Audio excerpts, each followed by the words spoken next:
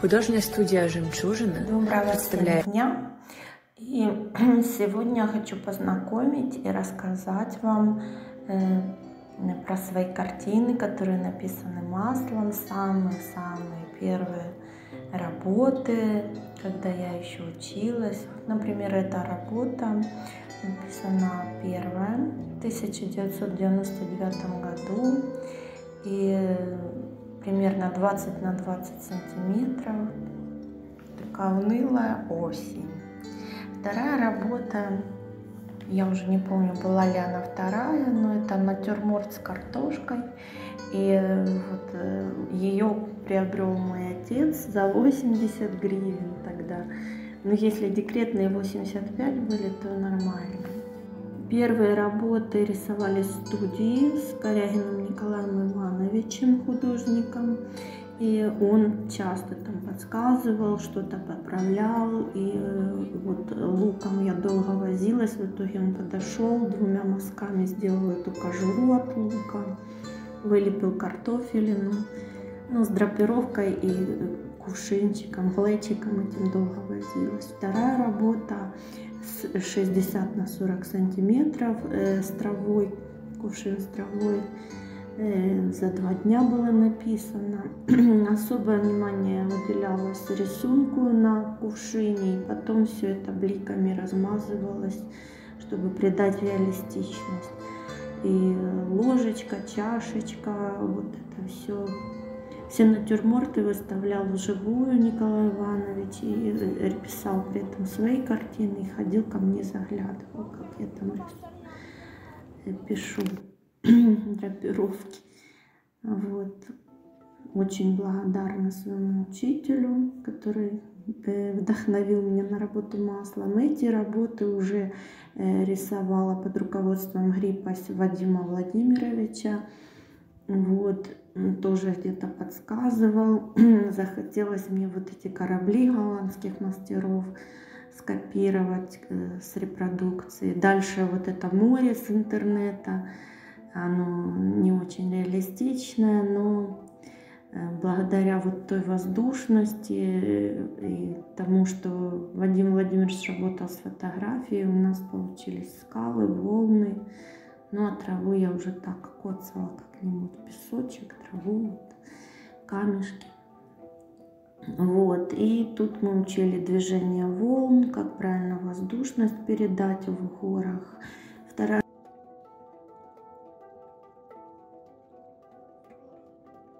работа тоже горы.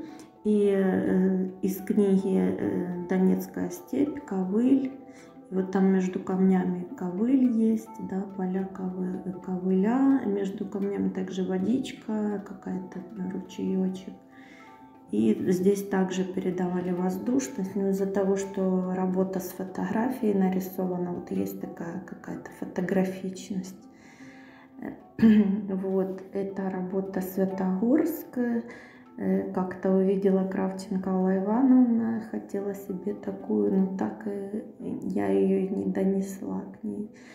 Э, вообще Светогорск здесь очень много проработано деталей, света, э, камней, листьев, изгибов самого храма, окошек, вот передана осень. Было нарисовано с календаря Светогорской лавре.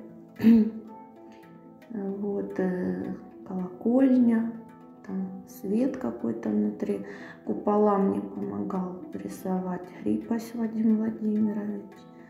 Вот, и работа получилась очень яркой такой. Не тусклой по сравнению с теми горами, которые были. Детали на скалах видно, что прорисовано.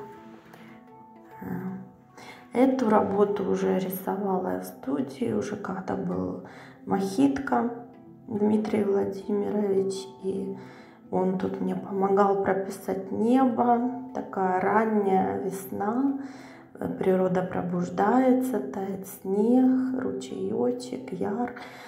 Он часто ездил в лесах, фотографировал, и вот это э, работа с фотографией тоже. но она 60 на 80, огромная работа. Еще такая большая работа осень была директору третьей школы нарисована. Э, здесь тоже э, эта работа, эта работа была нарисована с э, копии Махитка Дмитрия, огромной картины. Это, сама копия меньше, уже 40 на 60 сантиметров. И она вся такая легкая, воздушная. Именно мне понравился свет льющийся с небес и вот эти фиолетовые цветы. Но они здесь не фиолетовые, какого-то другого цвета. Вот, э, рисовала я ее дня три. Вот, сидела долго над деревом. Махитка подошел, мне это дерево там тремя мазками сделал, помог.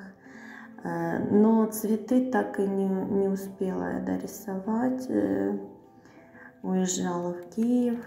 Ну, э, в принципе, он сказал, вот можно оставить так. Ну и здесь она написана широкими мазками, в отличие от предыдущих работ, где много реалистичности. И так в стиле уже какого-то Ван Гога или Рериха, вот что-то такое. Именно здесь был важен мазок и цвет. Ну и она подходит под интерьер и в Лимане, и в э, Киевской области. Вот бы села бы нормально. Если вас заинтересовали работы, можете написать в комментариях, приобрести их. Но предупреждаю, что они в Донецкой области, в городе Лиман, Украина.